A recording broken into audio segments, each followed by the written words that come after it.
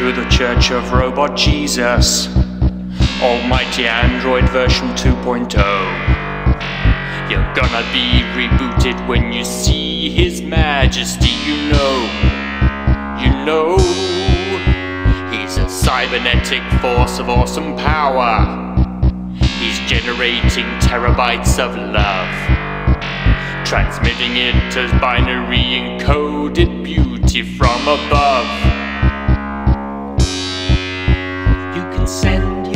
Your by Bluetooth, Wi Fi, or USB, and the visions you receive are in HD.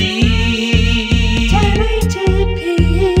He's sending down his holy light from a geostationary satellite. The last hope for humanity is floating in zero gravity.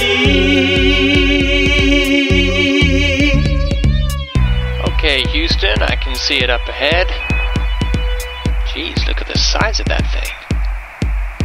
It appears to be opening. Are you getting that, Houston? What is that?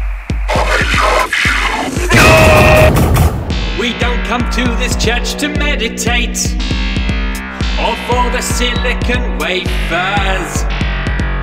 No, we just come here to exterminate and know that nothing can save ya. It's now three weeks since the arrival of Robot Jesus version 2, or as some are calling it, the Second Coming. Robot Jesus. It's been estimated that 25% of the world's population is now dead. Authorities have recently announced that converting to robot Christianity is now strongly advised.